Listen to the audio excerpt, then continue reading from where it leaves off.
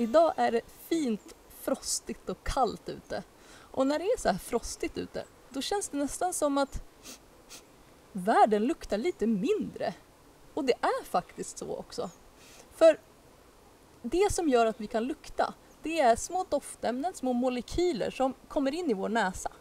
Och när det är kallt ute, då är det som att de här molekylerna rör sig lite långsammare och har svårare att hitta in i näsan. Mm. Så vill man hitta goda dofter på vintern, då får man leta lite.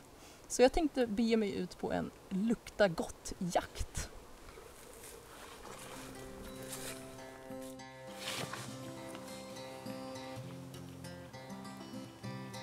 Har de bild? Och de luktar jätteilla. De brukar sitta på hallonbuskar och lukta illa. Nej, nu luktar den faktiskt lite svamp. Mm. Oj, vad luktar den? Det luktar typ hav eller bastu eller något. Bastulav. oh, gud vad gott det luktar. Det luktar så här mm, kryddigt. Det luktar ju lite enbär. Och det använder man ju till att krydda mat med. Nej, det inget enbär. Kanske är en hane det här. Och ingen hona. Då har den inga bär.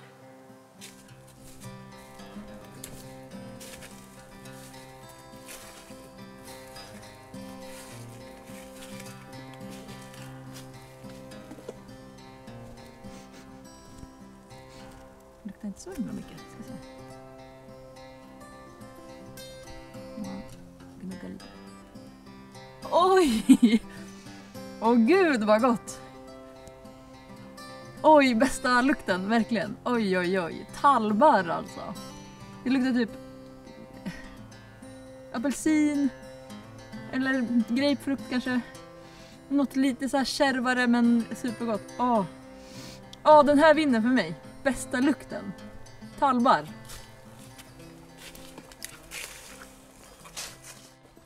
Nu har jag kommit ner här till vattnet och då har jag samlat på mig lite spännande grejer som jag inte har luktat på än. Se hur gott det här luktar. Uh, det luktar typ gammal fisk. Uh, den var... Det var inte bra. det var inte gott alls. Här är en, en pinne som låg vid vattenbrynet. Den luktar som lite mindre gammal fisk. Fast fortfarande jätteäckligt. Ja, nej. Det var, det var inget vidare. Men här hittade jag en väldigt oansenlig liten mossa.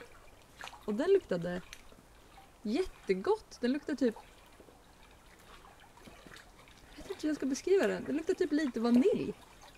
Jag vet inte om det är mossan eller om det är barken. Mm. Supergott. Ja. Så nu är min utmaning till er att ni ska ut i skogen och hitta någonting som luktar gott. På vägen kommer ni kanske stöta på någonting som luktar äckligt också, som jag gjorde. Eh, så det är kul om ni har med det också. Så lycka till med luktletandet.